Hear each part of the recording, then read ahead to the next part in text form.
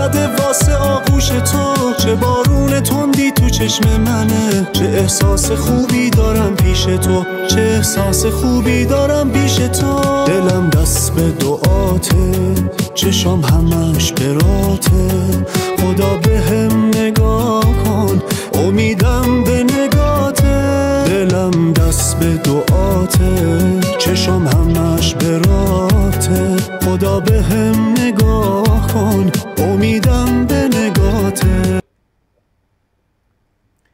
بدانند ایساس راه حیات به خونش مهیا نموده نجات. به میخ و به شلاق و خون همدم است ز داغ دل بی کسان پرغم است. به فقر و به ظلم و ستم آشناست. به فقر و به ظلم و ستم آشناست که او جان نسارانه راهش سواست. صلیبش برافراز بر آسمان. صلیبش برافراز بر آسمان که روشن شود مهر تو بر جهان. خدای امین و پر از عدل و داد پرستش سزاوار تنها تو باد. با درود خدمت هموطنان عزیزمون در سراسر جهان چه عزیزانی که در ایران هستن.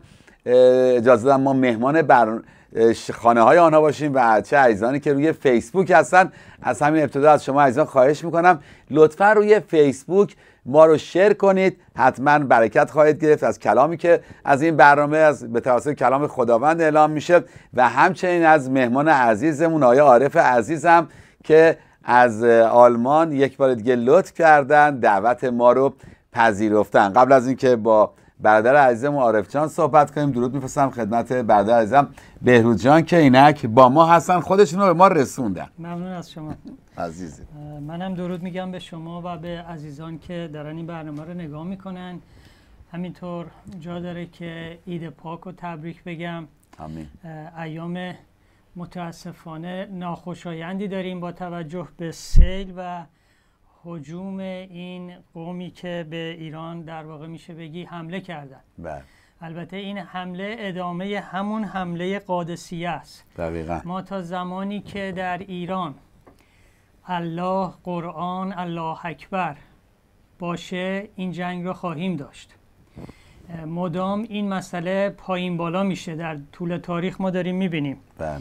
و حقیقتا ما باید با ریشه مبارزه بکنیم نه. با شاخه ها براو براو و زدن ریشه اون نتیجه کلی رو به ما میده که بتونیم برای آیندگانمون رو اقل یک کشور آزاد داشته باشیم. آمین. آمین که اینطور بشه حقیقتا. آمین آمین آمین. اه، پس اه، بذارید من این جمله جملات شما رو به یه جمله کوچیک تبدیل کنم. بفرمایید. از این به بعد لطفا فقط شعار ندیم سرنگون باد نظام اسلامی. اعلام کنیم سرنگون باد نظام اسلامی و زیر ساختار نظام اسلامی. آمین. و یا زیر ساختار آن. این دیگه کامل کننده هستش و همون چیزی که برادرم نیست فرمودم درود میفرستم خدمت برادر عزیزمون عارف عزیزم. که در آلمان تشریف دارن. سپاسگزار از اینکه لطف کردید با ما هستید. عارف جان.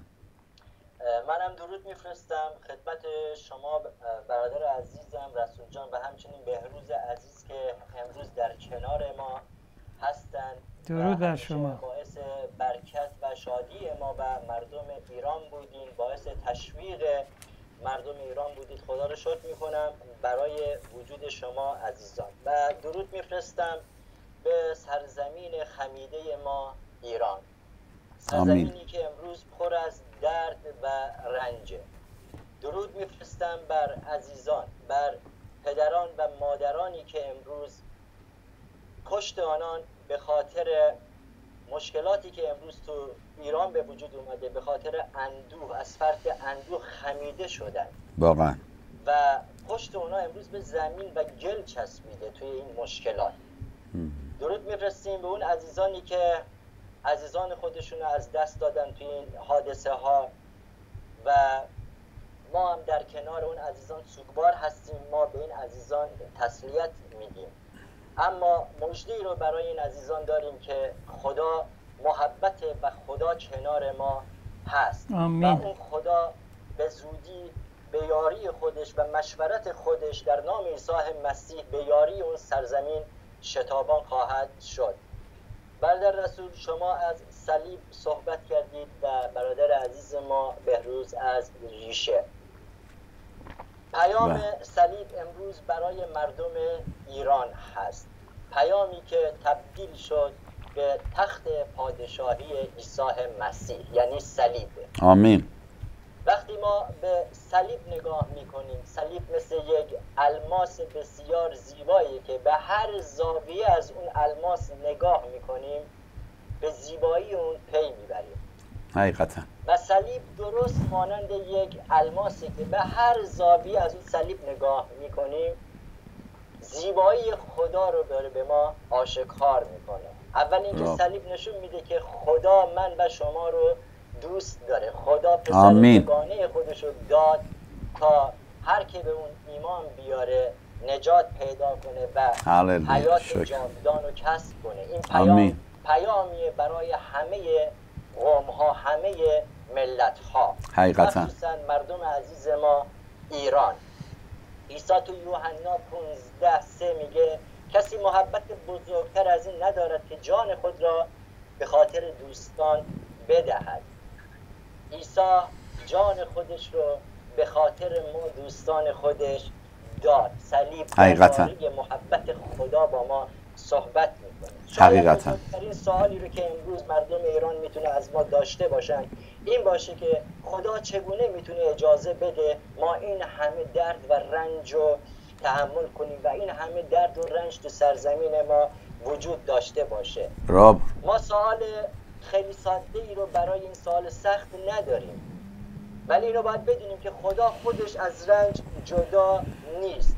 خدا در شخص پسرش عیسی مسیح به روی زمین اومد و برای من و همه شما رنج کشید. و. ایمان داشته باشیم که خدا با روح قدوس خودش ما رو آزاد می‌کنه و اون سرزمین رو آزاد می‌کنه. و تا همین امروز هم داره با ما رنج می‌کشه. وقتی که کلام خدا رو توی پتروس اونجا تعقیب می‌کنیم نامه اول پتروس عیسی به روی صلیب نمونه ای از محبت ایثارگرانه رو برای ما برجا می‌ذاره. وقتی یحیی عیسی رو می‌بینه میگه اینک بره خدا جهان گناه جهان رو بر میداره یعنی عیسی قرار مثل یک بره برای گناهان ما و آزادی ما از اسارت ها جام بده. عیسی در راه همه ما مرد در راه من و همه شما هموطنان عزیز تا دیواری رو که بین ما و خدا جدایی افکنده بود و برداره. صلیبی که تخت پادشاهی عیسی بود عیسی باید روی اون جام می‌داد و صلیب و قیام به یک معنا یک رویداد واحد هستند که بیان می‌کنن قدرت و مرگ شرارت در هم شکسته شد. هموطنان عزیزم من عید پاک و به همه شما تبریک میگم. عیسی مسیح مرد و رستاخیز کرد برای اینکه ما آزاد بشیم و این مژده رو به همه ما داد. و مطمئن باشیم که این سختی ها و این طوفان ها تموم میشن و آرامش دوباره به سرزمین ما در نام عیسی مسیح خواهد برگشت. آمین. آمین. سپاسگزارم مطالبی که فرمودید. به طور خاص همون گونه که هموطنان از می‌دونم ما در هفته مقدس هستیم که هر روزش یک پیامی است برای ما. به طور خاص ام- امروز که خب پنجشنبه هستش می‌دانیم که در اصل مصادف هست با شبی که خداوند ما عیسی مسیح با شاگردانش اون شام آخر شام خداوند عشای ربانی رو انجام میده و مسیح اعلام می‌کنه که به یاد داشته باشید. عزیزان رو تشویق می‌کنم اگر نزدیک کلیسای پرستگان مسیح هستید امشب ساعت هفت و نیم ما در کلیسای پرستگان مسیح به آدرس 74 75 فالبروک اونیو وست هیلز زیپ کد 91 307 می‌تونید تشریف بیارید که در کنار همدیگه باشیم برای دعا و برای پرستش و شنیدن کلام خداوند. همچنین این یک شنبه کلیسای پرستگان مسیح میزبان هموطنان عزیز که در لس آنجلس هستن ساعت هشت صبح در کلیسا در خدمت شما هستش. بازم برای دعا و پرستش و مراسم عشای ربانی هم نیز خواهیم داشت. جشن قیام مسیح و صبحانه هم در کنار هم خواهیم داشت که معمولا صبحانه چی می‌خورید شما؟ من؟ آره شما چی می‌خورید صبحانه؟ من معمولا نون و کره و نون کره می... خب نون کره و اصل هست و بله، تخم مرغ بله. همه چی حلیم هست. کله پاچه هم اتفاقا بعضی گفتن کله پاچه هم بیاریم. ولی خب گفتیم این بوی کله پاچه با فکر کنم کلیسای بعدی که آمریکایی هستن فراری میده. اما صبحانه خوبی خواهیم داشت که در از قلمرو فکر و ذهن ما این هست که جشن قیام مسیح رو داشته باشیم. که عزیزان خداوند ما عیسی مسیح قیام کرد تا تو هموطن عزیزم از تمام مشکلات و سختیات به طور خاص از هلاکت قیام کنیم و حیات و رستگاری رو داشته باشیم. من اجازه بده اولین سوال رو بکنم و بعد از بهروز جان می‌خوام که اگر سوالی هست لطف کنن ایشونم از عارف عزیزم بپرسم. در ابتدا می‌خوام بگم عارف جان می‌دونم شما مشغول خدمت هستید در کلیسا در بین ایرانی ها می‌خواستم ببینم در کنار این خدمت می‌دونم که فعالیت هایی هم دارید برای آزادی کشور عزیزمون ایران. آخرین فعالیت هاتون رو اگر مقدور هست براتون بگید که کجا تجمعی داشتید نسبت به اعتراض اه، جمهوری اسلامی و در این راستا سپاسگزار میشم. اگر مطلبی هست بفرمایید. بله همونجور که فرمودید من در اه، کلیسایی در آلمان خدمت می‌کنم و خداوند این عطا رو به ما داده این قدرت رو به ما داده که بتونیم در کلیسایی در آلمان و حالا به حکم شبان یا معلم کتاب مقدس در این کلیسا خدمت کنیم. و علاوه بر این که برای نجات جانها تلاش می‌کنیم به قدرت روح خداوند برای نجات ایرانمون هم تلاش می‌کنیم. و در. برابر ظلمی رو که دولت جمهوری اسلامی ایران بر مردم ما نائل میشه سکوت نکنم و جلو برم تا اون سرزمین رو برای اون سرزمین آگاهی رسانی کنیم اطلاع رسانی کنیم. درسته از اون سرزمین ما دوریم ولی اینو باید بدونیم روح ما هنوز توی اون ایران هست. چرا؟ چون ایران گهواره و گور ما هست. بله من آخرین فعالیتمونم که فعالیتی که داشتیم به خاطر حمایت از مردم ایران بود که دو ماه پیش ما در آلمان داشتیم و اکسیون دیگه هم توی ماه می داریم برای حمایت از عزیزانی که در سل قرار گرفتن و ظلمی رو که جمهوری اسلامی ایران بر این عزیزان می‌کنه که ما بتونیم صدای این عزیزان باشیم و صدای این عزیزان رو به دنیا برسونیم که یک حکومت چگونه یک مردمی رو که آسیب دیده رها می‌کنه و بیشتر به زوم می‌کنه روی اهداف تروریستی خودش در دنیا و ایجاد رو به وحشت در منطقه در کشور و حتی در جهان میشه. خب همونطوری که ما شاهد هستیم برادر رس- رسول.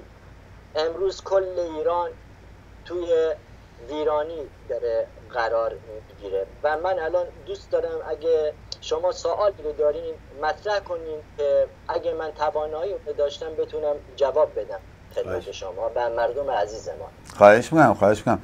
دوست دارم از بهروز جان اگر مطلبی هست سوالی هست. عرض به حضورتون که خب اتفاقات توی ایران هر روزه داره تکرار میشه و هر روز یه مصیبتی داره میاد. بله. ما هنوز با مشکل سیل خودمون رو به اصطلاح هماهنگ نکردیم که از اون طرف می‌بینیم که این گروهی که نمی‌دونم شاید بشه گفت یه گروه جنگلی یه گروه وحشی تحت عنوان هشت شعبی وارد ایران شدن بدون اینکه حقیقتا مردم بخوان اینا رو و اینا اومدن ریختن اونجا و این مسلما عواقب خیلی بدی داره. می‌خواستم خواهش بکنم که امکانش باشه یه مقداری شما توضیح بدین که چه عواقبی می‌تونه داشته باشه ورود این بله. افراد وحشی توی منطقه خوزستان و غرب کشور. بله حتما. من یک خلاصه در رابطه با سل صحبت می‌کنیم بعد میریم روی موضوع اصلی ما. خواهش که امروز شاهد هستیم برادر بهروز عزیز. از 31 استان ایران 21 استان در خطر سیل و نابودی قرار گرفتن. و. این برای ایران یعنی یک فاجعه.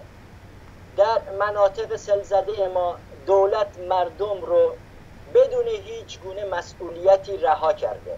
از همون ابتدا اینها ابتدای شروع سیلها در استانهای مختلف کشور ما هیچ امداد و کمک رسانی وجود نداشت. و این مردم کاملا در محاصره قرار گرفتن. حتی یک بالگرد وجود نداشت که بخوان کارهای امدادی این عزیزان رو چی انجام بدن. در صورتی که ما نگاه می‌کنیم وقتی که اینها می‌خوان برای سفر کربلا برن یا یا مراسم های محرم آشورا تاسوعا چه امکاناتی رو برای مراسم مذهبی خودشون قرار میدن. چندین بالگرد آمبولانس نیروهای نظامی سپاه و و و خیلی چیزهای دیگه رساندن خوراک نوشیدنی آب پوشاک همه اینها رو دولت برای اینها مهیا می‌کنه. چطور میشه این حکومت توی این بحران توی این مشکلات این مردم رو بدون سرپناه رها کنه؟ وقتی که سل همه جا رو فرا گرفته بود ما هیچ اثری از مسئولین حکومتی رو در اون روزهای اولیه سل نتونستیم ببینیم. یعنی مشاهده نمی کردیم اصلا اینها رو. اینها یا در سفرهای خودشون بودن خارج از کشور یا در کنار زن و همسران خودشون بودن. در صورتی که مردم عزیز ما در سهل داشتن جام می‌دادن میمردن مجروح می‌شدن. به تنهایی داشتن بار این همه مشکلات رو به دوش میکشیدن. و بعد از اینکه سل تقریبا یه مقدار اون فشار اصلی خودش رو کمتر کرد ما تازه دیدیم که سران حکومت جمهوری اسلامی ایران از مسئولین سپاه و دیگران کم کم کم کم اونجا حضور پیدا می‌کنن و تا کمر داخل آب میشم از خودشون عکس های سلفی و یادگاری می‌گیرن بدون اینکه هیچ کمکی به این مردم کرده باشه. بله. من حتی فیلمی رو دیدم استانداری اونجا حضور داشت که مردی اومده بود که می‌گفت آقا شما چرا به ما کمک نمی‌کنین برای فلان و فلان و فلان دارید کمک می‌کنید. عراق و سوریه بهش میگه حرف اضافه نزن تا ندادن فلانت کنن. چطور یک استاندار به مردم داغ دیده و زخمی همچین حرفی می‌زنه؟ شما مسئول هستید در برابر این همه مشکلات. چرا این سیل ها به خاطر بیکفایتی های شما به وجود اومده. شما باعث این همه بدبختی توی اون مردم هستید آقای لاریجانی حضور پیدا می‌کنه به مردم میگه خدا رو شکر شما سالم هستید این معنی نداره. شما به جای این حرفا باید به داد اون مردم برسید. راب. اون مردم رو پاک کنید. پای اون مردم رو بشورید. نه اینکه اونا رو به تمسخر بگیرید.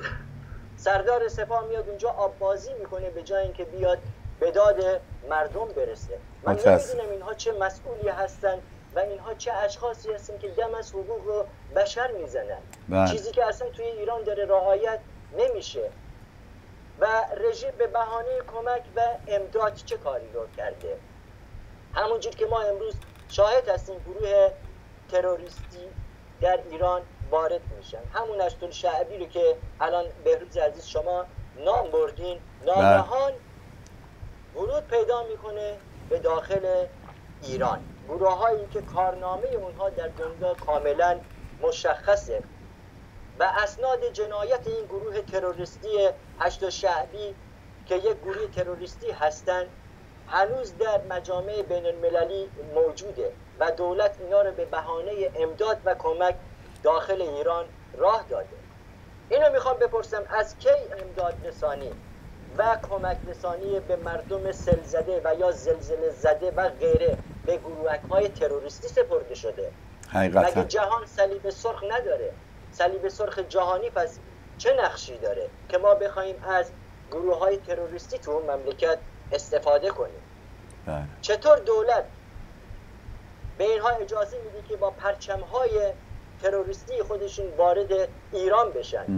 با پرچم عراق عراقی که هشت سال مردم ایران با اونها جنگیدن که از مرز و بوم و ناموس خودشون دفاع کنن. جوانان ما سلاخی نشدن که پرچم عراق تو کشور ما به اصطلاح برافراشته میشه بله. چطور میشه اینکه هجاب نداشتن به خون شهدا؟ خیانت میشه به خون شهدا. اما پرچم عراق در کشور ما برافراشته بشه خیانت نیست به خون شهدا. ما چهل سال یک پرچم بیگانه رو تو سرزمین خودمون برادر رسول بهروز رسول مردم عزیز ما توی ایران تحمل کرده. بله. پرچمی که چهل سال مملکت ما رو به اشغال در آورده. الان باید پرچم های گروه های دیگه ای ما در اونجا مشاهده کنیم. چرا این پرچم ها باید تو کشور ما به احتضار در بیان؟ مردم سرزمین ما در طول جنگ ایران و عراق سلاخی نشدن که این پرچم ها وارد کشور ما بشن. این دشمنان وارد ایران ما بشن. چطور میشه که هیچ یک از کشورهای کمک کننده اجازه ورود به داخل مردم رو نداشته باشند اما گروه های تروریست مستقیم وارد بشن به مردم؟ دقیقا. این گروه های تروریستی بوی بدی داخل سرزمین ما میده. و حال. قراره که این گروه های تروریستی بعد از این گروه های تروریستی هشت شعبی گروه حزب الله لبنان هم وارد کشور ما بشه. هدف این حکومت چیه؟ چی می‌تونه؟ باشه. امروز رژیم به نیروهای نظامی خودش هیچ اعتمادی نداره. چون می‌دونه که اکثر اونها از مردم همون سرزمین هستند. و صد درصد اونا دیگه در برابر مردم خودشون قرار نمی‌گیرن. چرا؟ چون اونا هموطنان اونا هستند به دقیقاً. همین دلیل چشم و امید این حکومت رو به این گروه های تروریستی رفته و اونا رو به بهانه امداد و کمک وارد ایران کرده.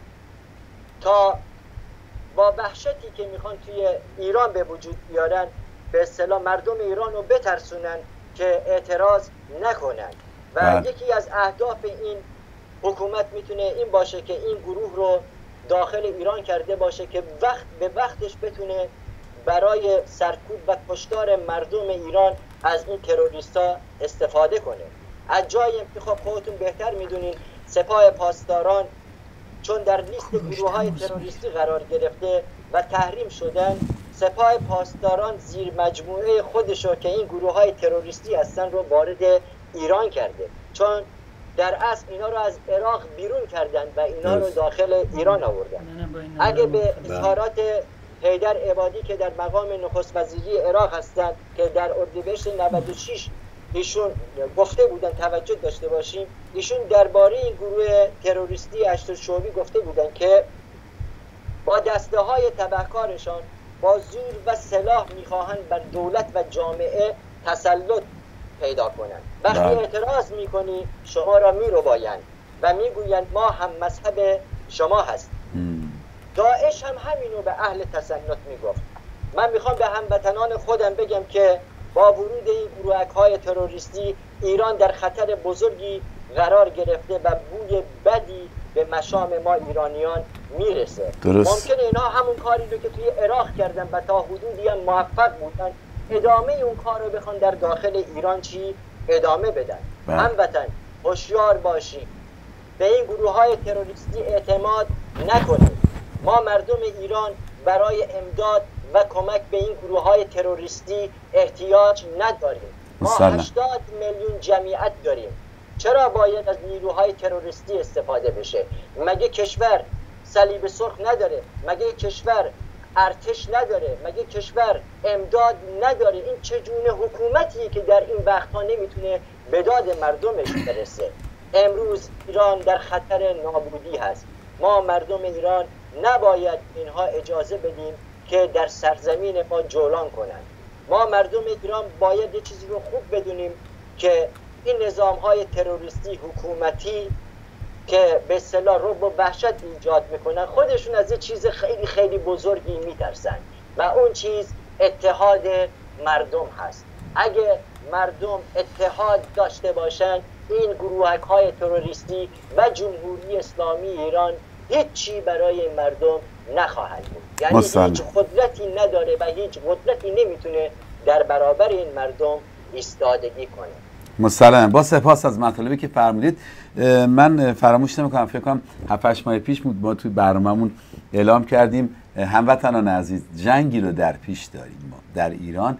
و این جنگ می‌تواند از طرف نظام اسلامی مانند جنگی که بین ایران و عراق انجام شد انجام بشه که 8 سال طول کشید. و در اصل این جمهوری اسلامی بود که تهدید کرد عراق رو و به نوعی در این تهدید موفق شد که بتونه با ایران بجنگه و نظام اسلامی از این موقعیت استفاده کرد. جنگ دیگه این هستش که نظام اسلامی سعی می‌کنه کشورهای قویتر رو همچون آمریکا همچون اسرائیل رو تهدید کنه که اونها بیان وارد این جنگ بشن و آسیب بله. بزنن.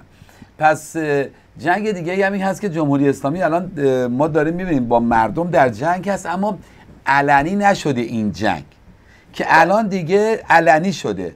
با نیروهایی که خود اینها یه روزی تعلیم دادن در کشورهای دیگه بالاخره می‌خوان چیکار کنن؟ امروز که سپاه پاسداران جز لیست تروریستی نیست شناخته شده در دنیا و می‌دونیم که این برای اولین بار نبوده. حتی اروپا قبلا این اعلامیه رو اعلام کرده و به نوعی خواستار بر این بودن. چرا که در اصل سپاه پاسداران یه عملکرد تروریستی داشته. هم در داخل کشور هم در خارج از کشور این بوده.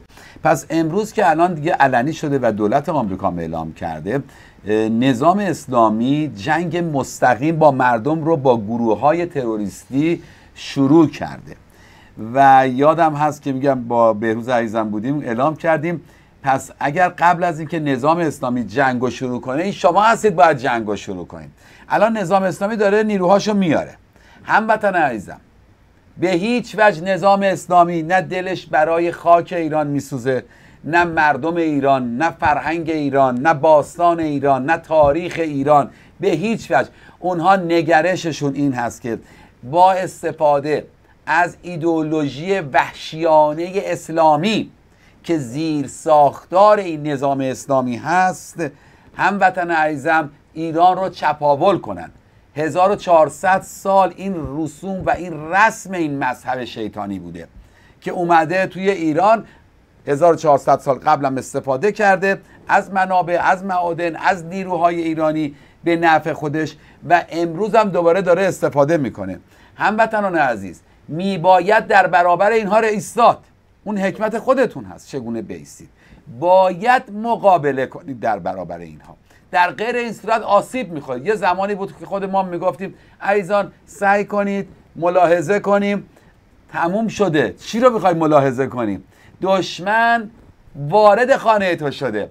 می‌خواد به زندگی تو غز می‌خوام ناموس تو تجاوز کنه. نمی‌تونی سکوت کنیم زمان سکوت دیگه نیست.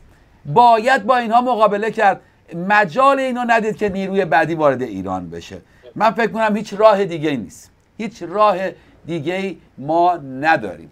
برای اینکه هموطنان ما یه بریکی داشته باشن و یه استراحتی هم بدیم به عارف عزیزمون بریم با هم دیگه از اتاق فرمان می‌خوام سرود داشته باشیم ببینیم. تشویقتون می‌کنم عزیزان ما رو روی لطفا فیسبوک شیر کنید. عزیزان روی یوتیوب این خدمته این هم یه خدمته.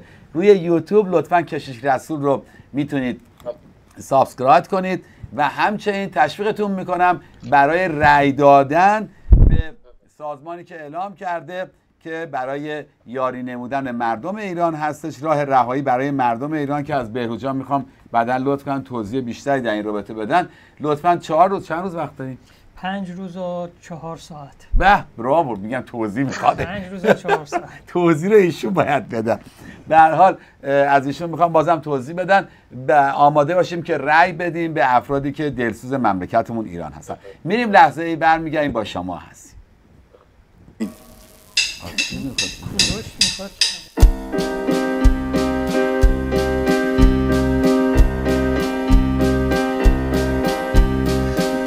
مصیبت ها و در سختی در طوفان های این دنیا تنها یک چیز مرا آرام است که تو با من هستی ای سان گر نباشد مرا همدم از هر سو جانم در سختی است. دانم نور پنجه هر تاریکیست تنها امید جانم ایسا. ستایم نامت را در هر هر جا. می‌دانم یک چیز را که توی تا عبد در قلبم پادشا با محبت بیمانندم پوشانیدی زندگیم را. نترسم چون تو این سلطانم در حیاه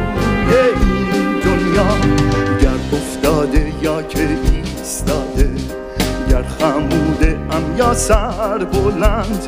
این امانت توست ای که گیرد دست من در هر بند. چیزی ندارم بهر دهم جز این تن و جان خسته ام. تسلی ده و شفا ببخش با فیض تو گیرم من مرهم.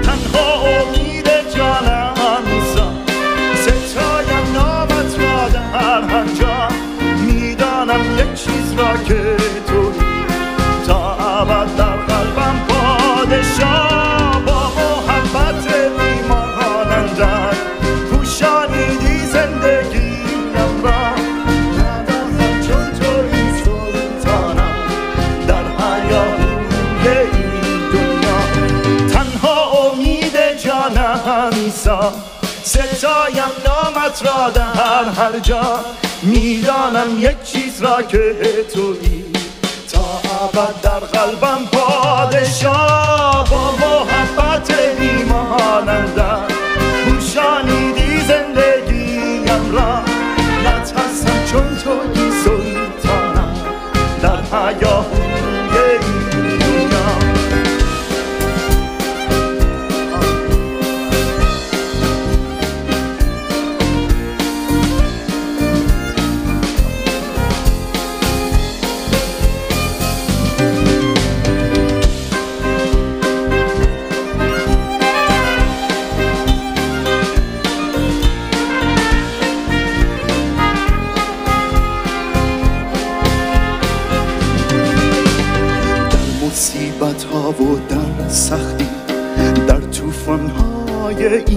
دنیا تنها یک چیز مرا آرام که تو با من هستی ای ایسا گر نباشد مرا همدم از هر سو جانم در سختی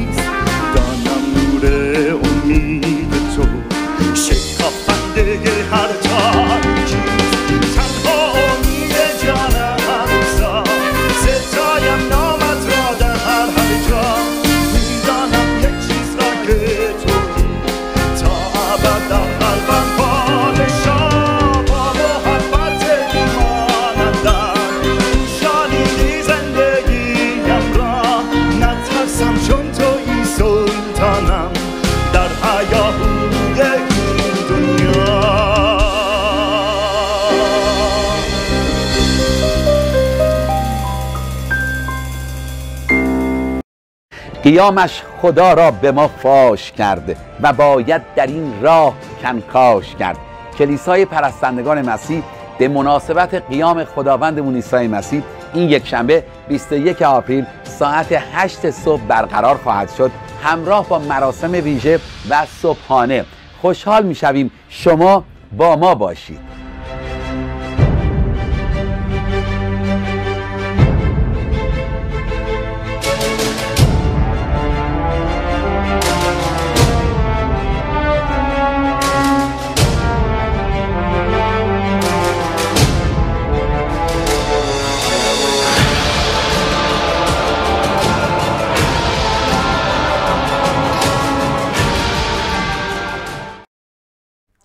با, درود مجدد خدمت هموطنان عزیزمون. برنامه امید جاودان در این وقت برنامه زنده هستش. هموطنان عزیز در این هفته که هفته مقدس هست عزیزان و یک شنبه آینده مصادف هست با جشن قیام خداوندمون عیسی مسیح. برای همین هستش که ما حتی فردا که جمعه الصلیب هست ما شادیم آرامش داریم و ایمان داریم که خداوند ما عیسی مسیح دو هزار سال پیش از مردگان قیام کرد تا ما قیام شده از هر بدی از هر گناه از هر هلاکت باشیم. ما عزاداری نمی کنیم. امروز حقیقتا عزای من برادر بهروز عارف عزیزم که مهمان برنامه ما هستم ما عزامون غممون چیه برادر بهروز؟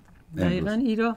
برافو نه کنین حرف دل. من از ایشون نپرسیده بودم باور کنید ولی واقعا غم ما اندوه ما مردم عزیز ما ایران هستن که توی مشکلات و سختی ها هستن.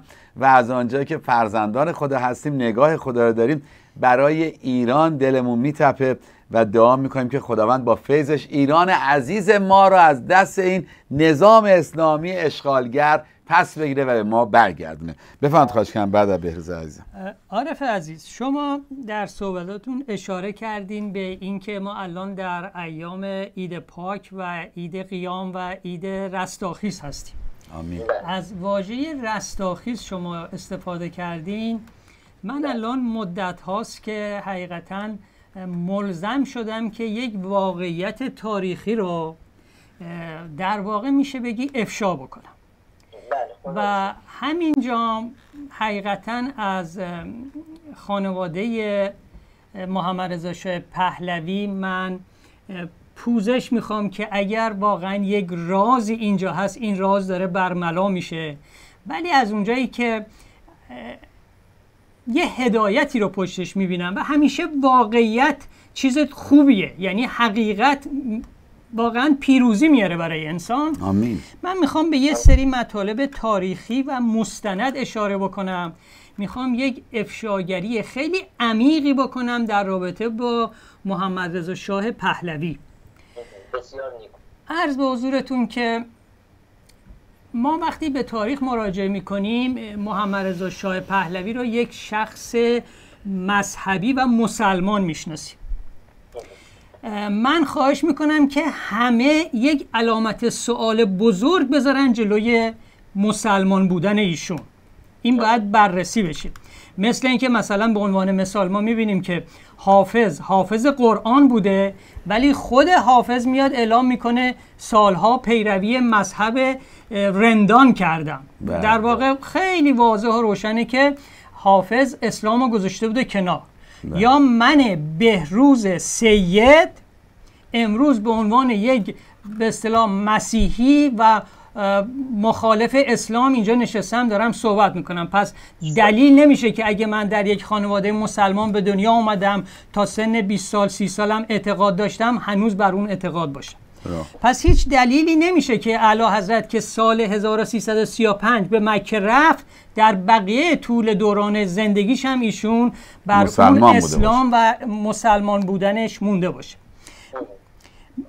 ما از سال 1335 که پادشاه رفتن به مکه می‌خوایم بریم سال 1350 در سال 1350 یک اتفاق بسیار بزرگی در ایران افتاد و اون جشنهای 2500 ساله بود که در این جشنها سران تموم کشورها اونجا حضور داشتن.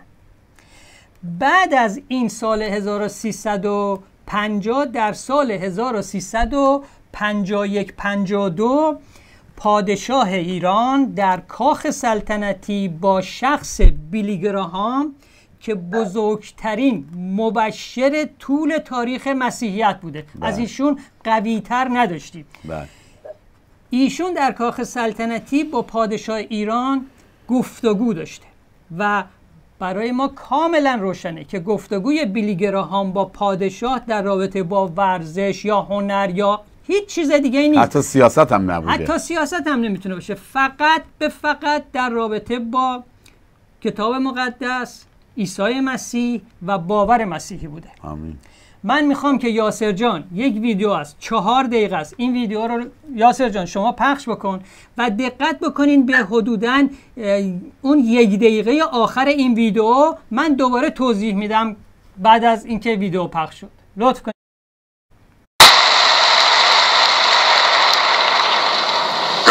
that we bow our heads in prayer. Many of you have come from a long distance to be here. To many of you, this is your first time in the arena this week. And you've heard and read in the press all the great and wonderful things that have been happening here. And a friend asked you to come, and you've come, or maybe you made your plans months ago to be here at this particular service. Well, God knows all about you. He knows your heart.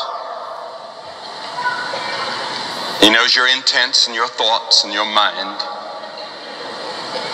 And He can meet your need, whoever you are, and whatever your need. You need sin forgiven. He gave His Son to die on the cross for that purpose. Problem solved. He said, Come unto me, all ye that labor and are heavy laden, and I'll give you rest. You that are tired and weary and sick, He'll meet your need. Our Father, we pray today that the people that have come here with great spiritual and moral needs may find the answer in the person of our Lord Jesus Christ. For we ask it in His name. Amen. To you that are watching by television, we're in the St. Louis Arena, as you know, in St. Louis, Missouri. And uh, this arena has been filled to capacity every single service, and many of the services we've started 15 minutes and even today a half an hour early because the arena is already filled that far in advance. And one of the great problems we have faced here in St. Louis is that it has not been large enough, and yet this arena is larger than Madison Square Garden in New York City. And this has been a tremendous outpouring of people in this period. And we have seen God do great and mighty things as hundreds of people every night have come to make a commitment to Jesus Christ. Now, today, I want you to turn with me to the fifth chapter of the book of Daniel. The book of Daniel, the fifth chapter of the book of Daniel. I suppose more than any other book in the Bible, this book predicts the future, unless it's the book of Revelation. And when you read the book of Revelation, always read the book of Daniel. The book of Daniel in one hand, the book of Revelation in the other, and then in front of you the daily newspaper, and they all tie in. Because Daniel is a book of prophecy. But the thing that I want to talk about Daniel today is an incident that happened in his life that I think bears on what we see happening today in our world. Some time ago, if you remember, about two years ago now, the Shah of Iran gave a great party. The Vice President of the United States went, Barbara Walters went, many distinguished Americans went to that great party celebrating 2,500 years of the history of Iran or Persia. And it was my privilege just a year ago this month to visit with the Shah of Iran in his palace in Tehran. And I reminded the Shah that the first prime minister of ancient Persia was Daniel. Because Daniel was the first prime minister when the Medo Persians came in and took over in this particular chapter, the fifth chapter. Then you move to the sixth chapter of Daniel and you find Darius making Daniel his first prime minister. And that is a tremendous tie in with what is happening in the Middle East and in the world today, and all the concentration of forces that are gathered there. And in this chapter that we're turning بله قسمتی از سخنرانی بلیگراهام رو دیدیم کشیش که مبشر بود و اگر اشتباه در سال 1352 بود بله بله بله، 52 در سال 1352 که در رابطه با محمد رضا شاه صحبت می‌کرد مطالبی که برادر عزیزم بهروجان تحقیق کردن و این براشون مکشوف شده و ادامه میدن. لطفا بفهمید بله همونطور که دقت کردین ایشون داره توی سخنرانیش که به زبان انگلیسی میگه که جشن 2500 ساله بوده و در واقع سران همه کشورها بودن و اشاره می‌کنه که یک سال و نیم بعد از اون ایشون در کاخ سلطنتی با پادشاه ایران گفتگو داشته. و ما می‌دونیم که بیلی گراهام بزرگترین مبشر بوده و ما می‌دونیم که گفتگوی اینا فقط به فقط در رابطه با مسیحیت بوده و ما می‌دونیم که یه همچین گفتگویی بدون مجوز پادشاه نمی‌تونسته صورت بگیره. مسلم. و حتما یک زمانی اینها با هم اونجا وقت گذاشتن. حالا من نمی‌دونم چند ساعت بوده. ولی جالبه که ما تاثیر اینو یک سال و نیم بعد از این ملاقات می‌بینیم که پادشاه ایران میاد در ایران یک حزبی به وجود میاره و نام اون حزب رو می‌ذاره حزب رستاخیز ایران. واو. و ما می‌دونیم که این واژه رستاخیز یک واژه کاملا مسیحیه. بله بله. واژه رستاخیز و قیام یک واژه که ریشش در صلیب عیسی مسیحه. آمین که در این روزها هستیم الان که یک شنبه میشه روز رستاخیز. پادشاه از همه ایرانیان می‌خواد که در این حزب شرکت کنن حضور بله. داشته باشن. من خواهش می‌کنم که یاسر جان اون لوگوی حزب رستاخیز هم شما نشون بدین. بله.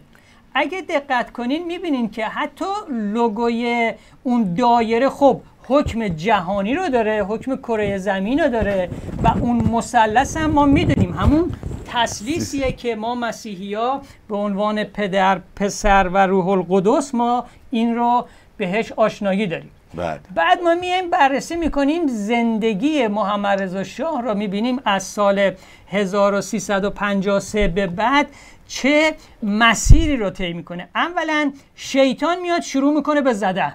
متاسفانه یعنی بله. حربه شیطان که همون اسلام هست از سال 54 55 شروع میشه به تظاهرات و شروع میشه به اینکه حکومت پادشاه و پهلوی رو بزنن. بله. بعد برخورد پادشاه را ما با این مسائل چجوری می‌بینیم؟ دقیقا یک برخورد مسیح گونه رو ما می‌بینیم.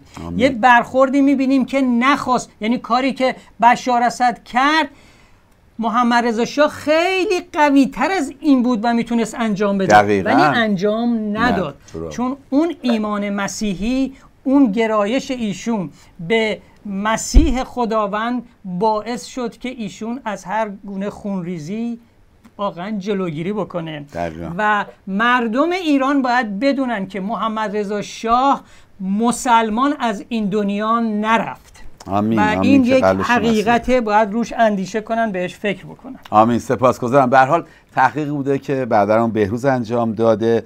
عزیزان نیز می‌تونید شما هم روی این تحقیق کنید اما بدانیم حقیقتا عملکرد محمد رضا شاه یک عملکرد اسلامی نبود. عملکرد اسلامی و عملکرد کمونیستی توی دنیا اینه که جنگ می‌کنن بحث می‌کنن اما محمد رضا شاه به راحتی همون گونه که خودش توی گفتارش فرموده به راحتی اجازه داده رأی مردم باشه و تو گفتارش هم میگه میگه من اینو یک مشیت الهی می‌دونم بله. پس دخالت نمی کنم و حقیقتا روحشون شاد که روحشون شاد هستش و دست حفاظت خداوند با خاندان پهلوی باشه اما می‌خوایم به این مسئله دیگه که من فکر می‌کنم یه 20 دقیقه بیشتر وقت نداریم از با عارف عزیزم که از آلمان با ما هستن که عزیزان این برنامه برنامه زنده است. می‌تونید روی فیسبوک شیر کنید با دوستانتون.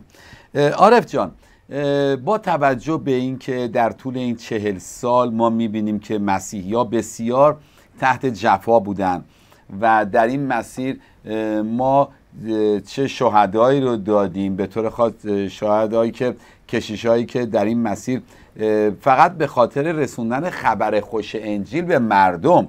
تازه اونم تو یک فضای ذهنی و فکری دموکراسی که خداوند به ما به توسط روح القدس داره. یعنی این گونه نیست که ما جبران بگیم یکی به مسیح ایمان بیاورد.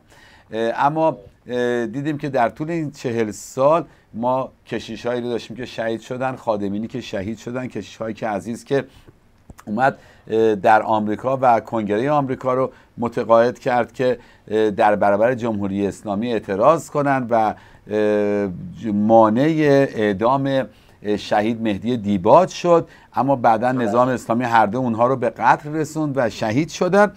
و توی این مسیر ما یه طرف سکه دیگه می‌بینیم که نمایندگانی در مجلس هستن. که خودشون رو به عنوان نمایندگان مسیحیای توی ایران اعلام می‌کنن. حالا چه ارامنه عزیز آشوریان عزیز که می‌دونم که مسیح زاده هم توی ایران دل خوشی از این اینا ندارن. چون اینا مزدورن از دیدگاه من.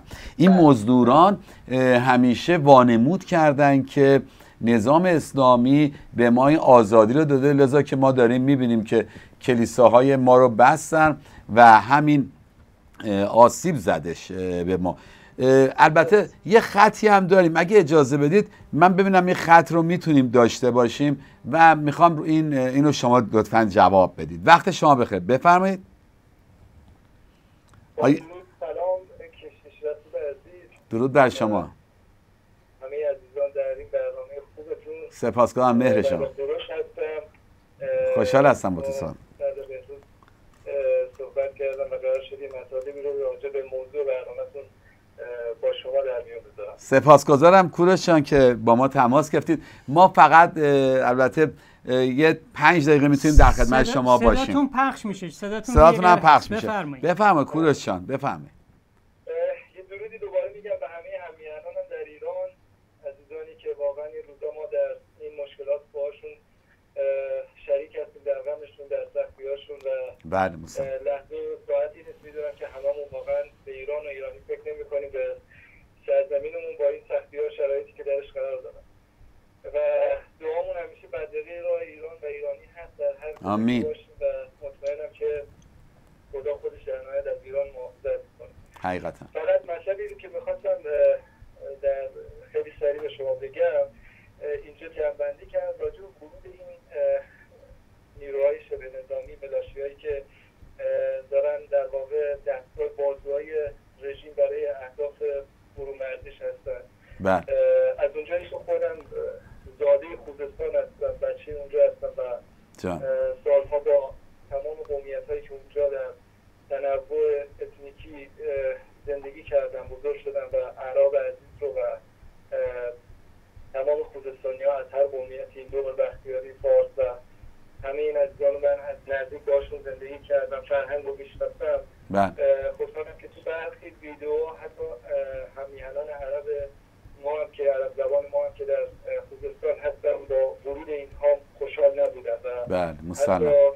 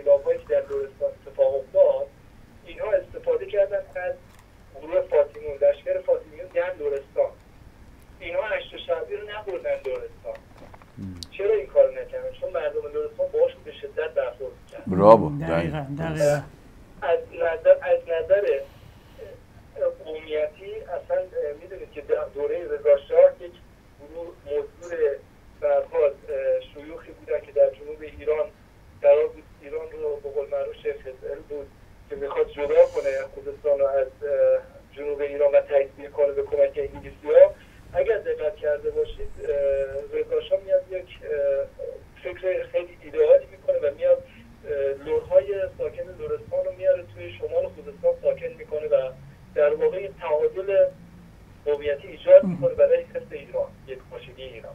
درست. و اینو می‌خوام بهتون قول بدم که اینا هشت شعبی و حزب الله رو هیچ وقت جرئت نمی‌کنن از خوزستان ببرن بالاتر. درست. و حتی در خوزستان هم مطمئنا باشون برخورد میشه.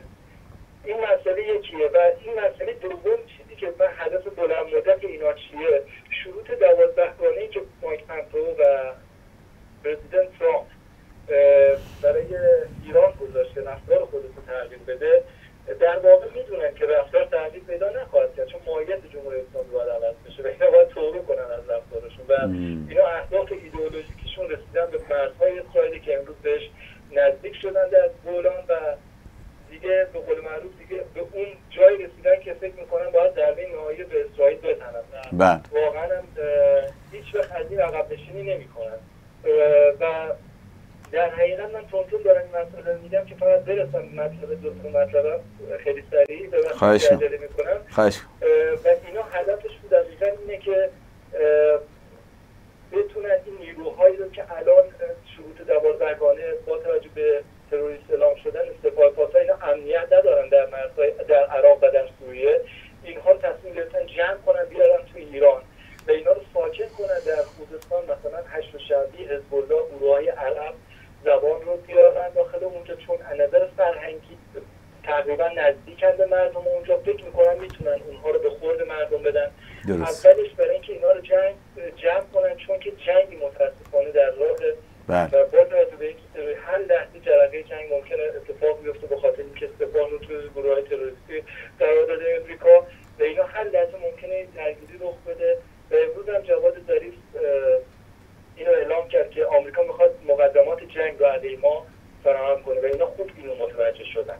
درست. برای همینه که اینا رو آوردن داخل مرزهای ایران برای روزی که بهشون حمله بشه اینا بتونن چون می‌دونن مردم ایران ازشون قاطی هستن ازشون ناراحت هستن ازشون دیگه واقعا دست بریدن. تمام پرتوهای اینها روی آب اومده برای مردم ایران. و اینا دیگه هیچ چیزی برای مردم ایران ندارن. درست. چیز جدیدی نه. آخری برگ برندشون این روحانی بود که دو سال پیش با او انتخابات کذایی و شعارهای پوپولیستی روی کار اومد. مردم وادار کردن. حتی در لس آنجلس صفها کشیده شد در استانبول من اون زمان در ترکیه بودم در استانبول چقدر برگ های رای تموم شد حتی مردمی که خ- خارج از کشور بودن اینها رو متقاعد کردن که بیا پای صندوق رای و متاسفانه مردم گول خوردن و همچنین که روشنفکرای ما اعلام کردن که این کار رو نکنید متاسفانه مردم انجام داد و امروز نتیجه شد دیدن که اه، واقعا روحانی همون نظام جمهوری اسلامی و اه، بله. یک اه، به قول معروف کسی به جز دروغ- دروغگویی بیش نبود برای مردم بله اه، کوروش عزیزم. کوروش جان، فقط با عرض پوزش به- دارید صدای منو؟ کوروشان ببخشید. اه، اه، مطلب البته دوست داریم مطالبتون رو بشنویم چون داریم به انتهای وقت نزدیک میشیم و آیا عارف عزیزمون هم مهمان ما هستن. سوالی ازش کردیم اگر براتون مقدور هست توی دو سه دقیقه اینو بتونید جمع کنید. در روزهای آتیه از شما بخوایم بیشتر بشنویم. ولی بفرمایید خواهش کنم تو دو سه دقیقه سپاسگزار میشم. ولی خواهش کنم بفرمایید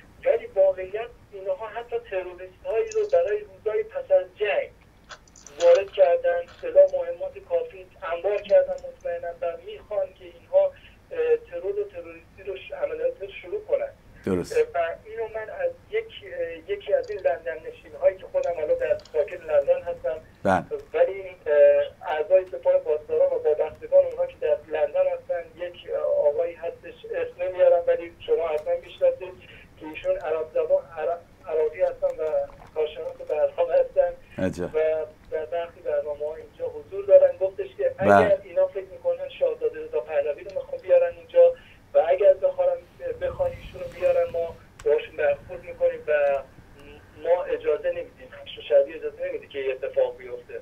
و مطمئنا اینها این از این افراد رو آوردن برای اون روزهای درگیر مسلم. خداوند ایران ایرانی رو نجات بده. آمین. آمین. جمعه صلیب رو و رستاخیز عیسی مسیح خداوند رو به همه شما و همیهنانم تبریک شادباش میگم. باشد که واقعا ایران ما رستاخیز دوباره داشته باشه در شالوم در سلامتی. آمین آمین آمین اه، من می‌خواستم در انتها از شما خواهش بکنم که اون سایت اه، راه رهایی ایران رو اگه شما تا الان کاندیدای خودتون رو معرفی نکردین لطف کنین انجام بدین و به دوستانتون هم در اروپا بفرمایین که اینو انجام بدن. پنج روز بیشتر وقت نمونده برای اون. حتما توضیحاتش یه سری سوال داشتم حتما مزاحم میشم در مسنجر و در خدمتتون هستم. اگر کمکم کنید که بتونم این در واقع حمایت رو از شما ادامه داشته ممنونم. سپاسگزارم. ازتون. سپاسگزارم. کوروشان به فیض خدا توی جلسات دیگه سعی می‌کنیم از شما استفاده کنیم. از- از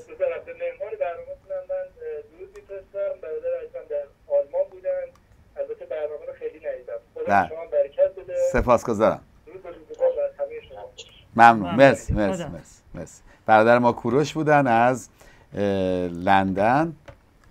از انگلیس بودن بله؟ بله. و به هر حال اه، خدا رو شکر برای بودیشون. من سوالی کردم البته ما تقریبا ده دقیقه وقت داریم.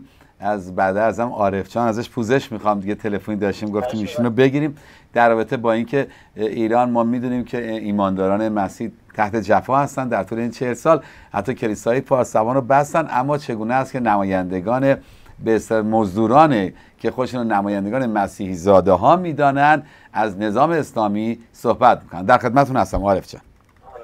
من وقتم کمه سعی می‌کنم که زود خلاصه توضیح بدم و لطف. با در پایان یه دعایی هم با هم برای ایران حتما داشته باشیم حتما مسیح. بله برادر عزیزم همونجور که فرمودی یونات بیت کلیا مدعی هست که نمایندگان به اصطلاح مسیحیان در داخل ایران که ایشون آشوری هستند که ایشون مدعی هستن که تو آمریکا و غرب حقوق بشر رعایت نمیشه و آمریکا و غرب باید از جمهوری اسلامی ایران الگو برداری کنن این ادعاشون زمانی که خیلی از اقوام ایشون از جمله فرزندان ایشون در آمریکا دارن چی زندگی می‌کنن. درست مثل. بقیه نمایندگان که الان فرزندانشون در آمریکا و اروپا دارن زندگی می‌کنن.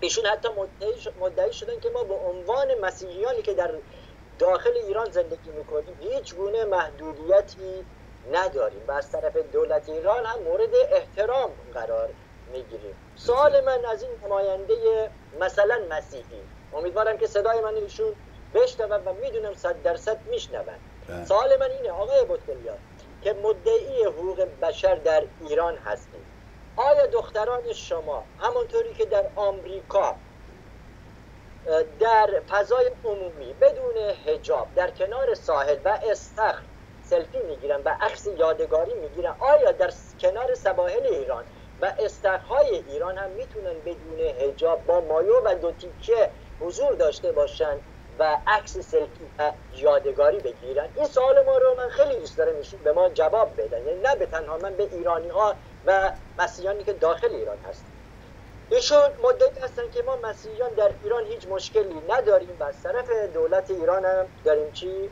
مورد احترام قرار می‌گیریم و تکلیف مذهبی خودمون رو داریم به انجام می‌رسیم. آیا ایشون نمی‌دونن که دنیا و مردم ایران به حرفهای دروغ ایشون میخندن؟ واقعا من متاسفم برای این نماینده که خودشو جا زده به عنوان نماینده مسیحیان در ایران. آقای بتکلیا یا از کلام خدا چیزی نمی‌دونه یا خودشونو زده به خواب. یه حقیقتیه. و یا یهودای از غریوتی است که عیسی رو به سه سکه نقره فروخته و خدا می‌دونه ایشون مسیحیان داخل ایران و دنیا رو به چند هزار دلار و یا میلیون دلار فروخته باشه. یهودا یهوداست. چه در نماینده مجلس ایران چه در زمان عیسی. برافو برافو و این ش- جای تاسف آورش برادر رسول برادر بهروز برای من اینه که ایشون فکر می‌کنه که مسیحیت فقط برای آشوریانه. و ایشون فکر می‌کنه که مسیحیت نسل در نسل به اینها به عنوان موروسی رسیده. نه عزیز من زمانی که آ... من خیلی عذر می‌خوام. من برادران و هم خواهران هموطنان آشورینمون رو خیلی دوست دارم و برای. اونها احترام خاصی قائلی هستم آمین. اونها در بدن مسیح هستم ولی. سوال جواب این نماینده مجلس رو می‌خوام بدم. آیا فقط آسوریان در اون مملکت مسیحی هستند آقای نماینده مگه کلام خدا در رومیان ده سیزده نمیگه که هر که نام خداوند را بخواند نجات مییابد. آیا واقعا به راستی شما از انجیل هیچ شناختی ندارین؟ برافو چطور شما وقتی که کلام خدا توی یوحنا 3 16 چی میگه؟ میگه خدا اینقدر مردم جهان را محبت کرده. نمیگه آمین. فقط مردم آشوف را یا ارامنه را. محبت کرده. کلام برام. خدا میگه هر کس به گناهان خود اعتراف کنه توبه کنه و به نام عیسی ایمان بیاره نجات پیدا خواهد کرد. آمین. آیا این مردم ایران جزء اون گروه نیستن چگونه تو خودت از بدن مسیح جدا می‌دونی؟ آیا نوع ایمانانی که امروز به عیسی مسیح در ایران ایمان آوردن و به خاطر ایمانشون در ها دارن به سر می‌برن آیا اونها مسیحی نیستن؟ چگونه به خودت اجازه میدی که دیگر ایمانداران یا ایمانداران جز بدن مسیح نمی‌دونی شما به هیچ عنوان از کلام خدا مطابقت نمی کنید و ما مسیحیان ایران چه آشور چه ارمنه و چه نوع ایمانان شما را اصلا به عنوان یک نماینده مسیحی در ایران قبول نخواهیم داشت. مسلم. امروز اینها زمانی که جوانان ما نوکیشان ما عزیزان ما سای مسیح ایمان میارن حتی اینها جرأت نمی‌کنن از حقوق این اشخاص دفاع کنند اینها به خاطر نام عیسی مسیح در زندان ها به سر می‌برند چطور میشه سکوت می‌کنیم؟ چطور میشه که میگیم که ما در ایران هیچ مشکلی نداریم؟ این یه دروغ بزرگیه. شما به خون مسیح و دست و پای مسیح امروز داری میخ می‌کنید و به خون مسیح بازم دارین خیانت می‌کنید. حقیقت. من خواسته من از این نماینده مجلس اینه که به راستی بیا توبه کنه. توبه کنه و دل خودش به عیسی مسیح بده. مگه ایشون کلام خدا رو نمی‌خونن؟ مگه همون عیسی مسیح بعد پولس توی اعمال ظاهر نشد؟ نگو پولس با بدن من چه می‌کنی؟ با من چه می‌کنی؟ چطور شما نماینده یک مجلس هستید نمی‌تونی بیای بگی که شما چرا با مسیحیان ظلم می‌کنید شما وقتی که دعاهاتون در مجلس می‌خواین شروع کنید با دو خدا شروع می‌کنید اول به نام خدای منان استرس منان و بعد به نام عیسی مسیح. آیا اون مجلس عیسی مسیح رو به عنوان خداوند قبول داره؟ براب آیا شما واقعا در ایران آزادی و تکالیف مذهبی خودتون رو انجام می‌دید؟ شما یک دروغگویی هستید در مجلس ایران. که به عیسی مسیح و مسیحیان در خیانت می‌کنه. آیا شما فرمان بزرگ عیسی مسیح رو در ایران به راحتی می‌تونید انجام بدید مگه کلام خدا تو متا باب 28 آیه 19 تا 20 نمیگه که همکنون اختیار آسمان و زمین به من داده شده است؟ پس به همه قوم ها بروید. همه را شاگرد سازید. همه را به نام پدر پسر روح القدس تعلیم دهید. بر هر آنچه را که به شما تعلیم دادم به آنان نیز بگویید چنین کند و من تا انقضای این جهان همراه شما خواهم بود. می‌خوام خطاب به این نماینده مجلس اینه بگم آیا به راستی شما در ایران می‌تونید فرمان بزرگ رو انجام بدین؟ از این آشوریان عزیزی که امروز در زندان هستند ما چه اشخاصی هستند؟ راب راب. ایشون به راستی نماینده مسیحیان نیستن و می‌خوام بهشون یه یادآوری دیگه هم بکنم قبل از اینکه آشور بخواد به عیسی مسیح ایمان بیاره اولین کسانی که به عیسی مسیح ایمان آوردن ایرانیان بودن. ایرانیان بودن که هدایای خودشون رو می‌برن می‌ذارن زیر پای عیسی مسیح. و حتی عطری رو به عیسی مسیح هدیه میدن که نشانه دفن کفن عیسی مسیح تطهیر عیسی مسیح بوده. و بله. باز توی اعمال باب دو می‌بینیم اولین کسانی که ایمان میارن بازن ایرانیان هستن. خدا رو بله. شکر می‌کنیم ما برای وجود برادران و خواهران آشتی و ارامنه در ایران. اما من واقعا برای نماینده متاسفم. برای بله بله. بله با سپاس از مطالبی که فرمودید و تشکر که با ما بودید از بهروز عزیزم یاسر عزیزم که لطف کردن کارگردانی برنامه داشتم.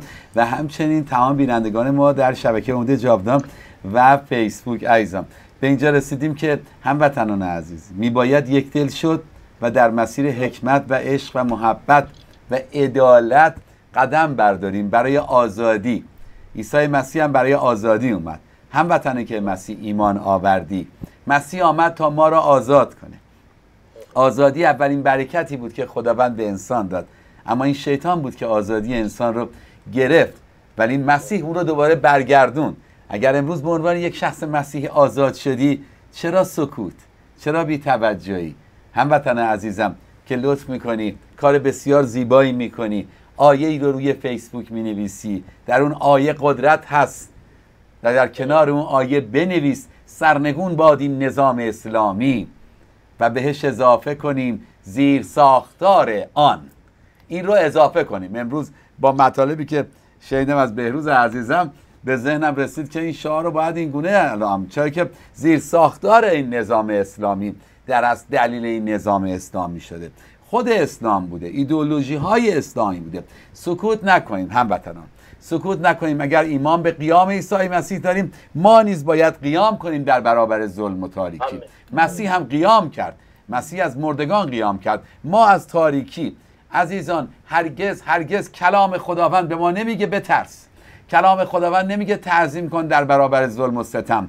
کلام خداوند به ما نمیگه سازگاری با ظلم و ستم رو داشته باشیم. کلام خداوند به ما میآموزه شجاع و قوی باش یوشع. موسا داوود سلیمان رسولان شجاع باشید. روح القدس رو داده که شجاع باشید شجاعت ببخشید بر نخوره به کسی. شجاعت این نیست که در کشوری که توش دموکراسی هست. و بسیار کار خوبی می‌کنیم. ما بریم بشارت به مردم میدیم. شجاعت این هست که در برابر این نظام اسلامی بیستیم. این نظام اسلامی دست شیطانه. اعلام کن سرنگون باد این نظام اسلامی.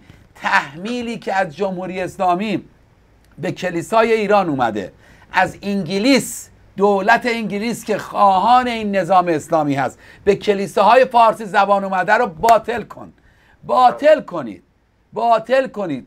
مطمئن باشید. آنانی که به شما امروز میآموزند که نباید به هیچ وجه در برابر نظام اسلامی استاد این آنانها آنانی هستند که مانع بشارت هم خواهند شد یه روزی. اگر ببینند جو خیلی سخته میگه که بشارت هم ندید. پس اگر جان ما اینقدر عزیز شده بنابراین بدونیم با مسیح همراه نمی‌توانیم بشیم. جان ما متعلق به مسیح هستش. و مسیح متعلق به ما هستش. باید غیورانه بیستیم در برابر این نظام اسلامی و سکوت نکنیم. یکی دو دقیقه وقت داریم. می‌خوام بهروز عزیزم اگر مطلبی هست بگه به طور خاص در رابطه با رأیی که ما دو سه روز بیشتر وقت نداریم. فقط یه مطلب دیگه اضافه کنم. اینو قبلا هم عرض کردم. هم وطنان عزیز متاسفانه اندک افرادی رو می‌بینم مانند برادر عزیزم عارف عزیز که ایستاده برای خداوند و ایستاده برای آزادی ایران. همچنین بهروز عزیزم رو و تعداد کمی هستن. از این رو از وقتی ما وقتی صحبت می‌کنیم با شبانان و کشیشا به ما میگن ما نمی‌دونیم یا ما نمی‌تونیم یا نمی‌خوایم. من اعلام کردم اگر نمی‌دونید نمی‌خواهید نمی‌تونید اوکی حکیمان است دیگه زوری که نیستش. ولی من اعلام می‌کنم به فیض خدا و قوت خدا می‌دونم. می‌تونم و می‌خوام. همش قوت خداست. تا برسیم بعد از سرنگونی نظام اسلامی اون موقع من و خدمتم برای مردم ایران خواهد بود. هر عزیزی که مایل هست می‌تونه خدمت رو برای آزادی برای آبادانی ایران نیز داشته باشه و ما هم در اون قسمت سهم می‌خواهیم داشت. بفرم خواهش عرض به حضورتون که سایت راه رهایی ایران هدفش اینه که یک اتحاد و یک همفکری به وجود بیاره بین اپوزیسیونی که الان چهل ساله دارن مبارزه می‌کنن ولی این مبارزه به نتیجه نرسیده به خاطر اینکه هر شاخه از این اپوزیسیون به سمت و سوی خودش می‌خواسته بره و جمهوری اسلامی هم اومده در کنار این اپوزیسیون یک اپوزیسیون دست‌سازی درست کرده و در واقع اپوزیسیون اصلی ایران یه مقداری بی‌اعتبار شده. ما برای اینکه به رهایی ایران برسیم اتحاد می‌خوایم. آمین. این اتحاد باید از اپوزیسیون شروع بشه یک هدف بشن یک نظر بشن و بعد همین اتحاد در جامعه ایران شکل بگیره و اگه قرار شد که یک روزی یک فراخوانی داده بشه همه با هم هم فکر و هم نظر بشه آمین. به خاطر همین یک سایتی طراحی شده که در این سایت اجازه بدین براتون بخونم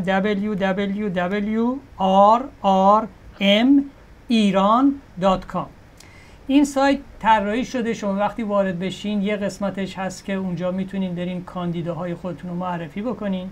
شما از یک تا ده نفر اونجا می‌تونین اسم بنویسین و آخر سر باید اون ارسال لیست رو تاچ بکنین اونو active بکنین تا این بره توی سیستم. همینطور که الان روی اسکرین می‌بینین. خواهش من اینه که نسبت به این مسئله بی تفاوت نباشید. به هر حال شما هر جای ایران که هستی یا هر جای دنیا که هستی نسبت به شرایطی که الان در ایران میگذره ناراضی هستی و نمی‌خوای این سیستم ادامه پیدا بکنه. اینی که شما ناراضی هستید درست ولی باید کاری انجام بدید ابتدایی ترین کارش اینه که ما در این به اصطلاح رأیگیری شرکت بکنیم کاندیدای خودمون رو معرفی بکنیم. من مسیحی یکی از کاندیداهایی که معرفی کردم کشیش رسول هیدریه دلیلش اینه که ایشون را الان مدت هاست می‌شناسم در کنارش هستم و می‌بینم که داره وقت می‌ذاره می‌بینم که دلسوزه ما باره ها بوده که من روزای سه شنبه صبح که ایشون از ساعت 6 به وقت لس آنجلس تلفن ها باز میشه از ایران زنگ می‌زنن و درخواست دعا دارن درد دل می‌کنن و این کار یک شبانه کار یک کشیش نیست. یک شبانه. و ما باید تفاوت اینو حقیقتا درک بکنیم که کشیش در چه موقعیتیه شبان در چه موقعیتیه. و ما مسیحی ها باید نقش داشته باشیم. ما نور و نمک این جهان هستیم. پس نمی‌تونه نور و نمک هیچ دخالتی در سیستم نداشته باشه. پس خواهش می‌کنم که این را به عنوان یک وظیفه بدونین. هر کدومتونم که مشکلی هست از طریق فیسبوک یا مسنجر با من تماس بگیرین. صد درصد با شما خواهم بود و اگه کمکی از دستم بر بیاد در خدمتتون هستم. سپاس گذارم مطلبی که گفتید. آره عزیزم فرمودید که در انتها دعا کنیم. ما میلمون بر این هست. آیا مایل هستید خودتون برای ایران دعا کنید و مردممون؟ بفهم سپاس گذارم بفهم. هللوی خداوند شکرت می‌کنیم برای امروز. امروزی رو که خداوند به ما فرصت دادی تا بتونیم کلام تو رو به سرزمین ما ایران برسونیم. خدای دعای ما رو امروز امشب خداوند به حضور مقدس تو میاریم. همچون بخوری ای خداوند. فریاد کمک سرزمینم ایران رو ای خداوند. بتونیم به تو برسونیم. آمین. روح تو روح سازندگی است ای خداوند. روح خودت رو بر اون سرزمین بفرست و ایرانمان رو دوباره تازه کن. روی خودتو از اون سرزمین بر نگردون ای خداوند.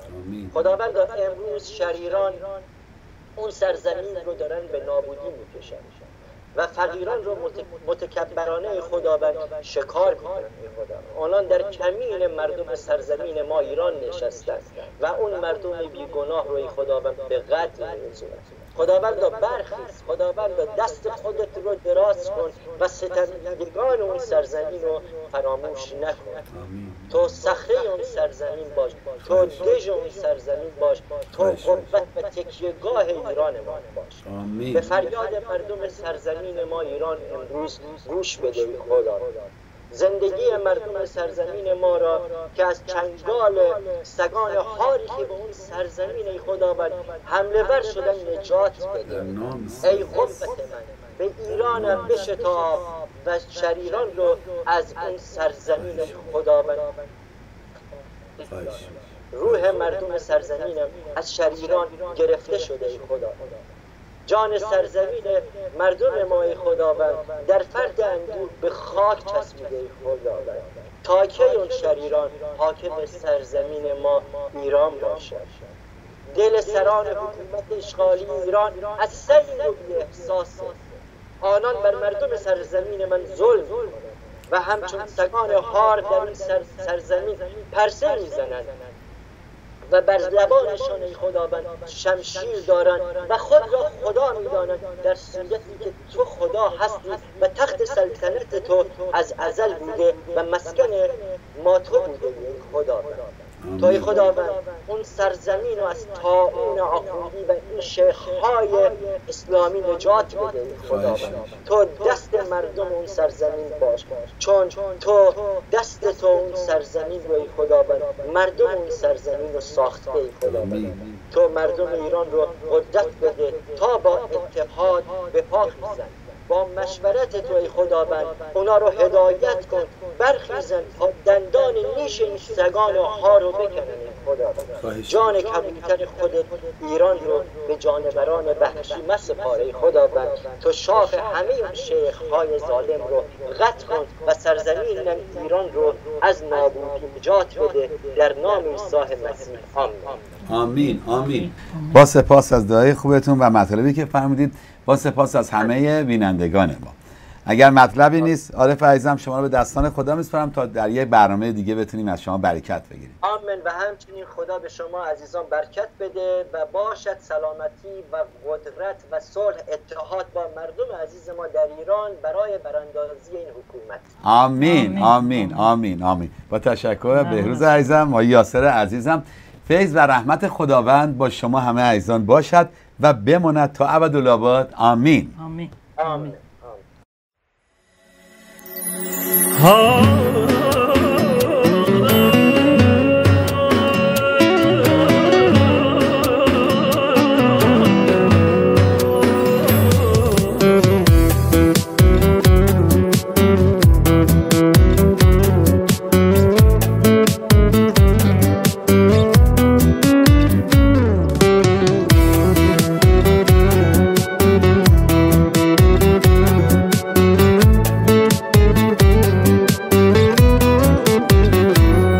فقط عشق می‌تونه نجاتم بده. اونم عشقی که از تو تو قلبمه. دارم عاشقونه صدات می‌زنم. نجاتم بده از تو اینم همه. دعا می‌کنم با دو دست حقیر. دلم لک زده واسه آغوش تو. چه بارون تندی تو چشم منه. چه احساس خوبی دارم پیش تو. چه احساس خوبی دارم پیش تو. دلم دست به دعاته. چشم همش براته خدا به هم نگاه کن. امیدم به نگاته دلم دست به دعاته چشم همش به راته خدا به هم نگاه کن امیدم به نگاته